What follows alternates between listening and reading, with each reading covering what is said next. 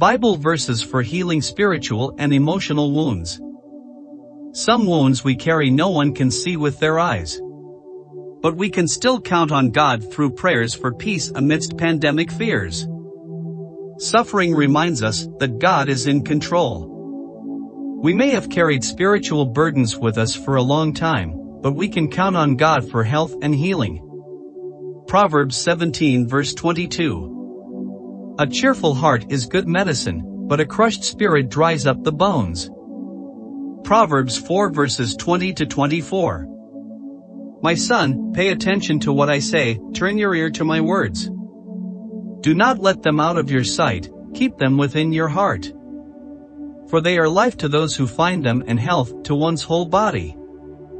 Above all else, guard your heart, for everything you do flows from it.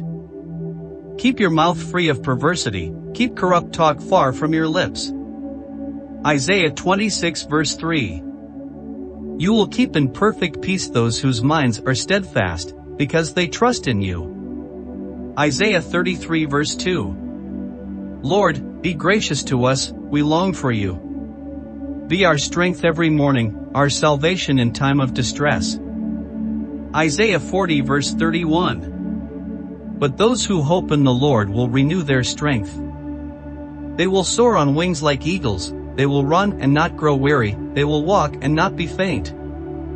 Isaiah 53 verse 5. But he was pierced for our transgressions, he was crushed for our iniquities, the punishment that brought us peace was on him, and by his wounds we are healed. James 1 verse 4.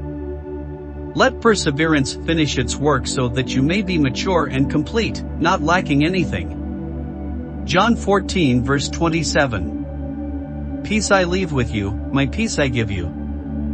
I do not give to you as the world gives. Do not let your hearts be troubled and do not be afraid. 1 John 1 verse 9. If we confess our sins, he is faithful and just will forgive us our sins and purify us from all unrighteousness.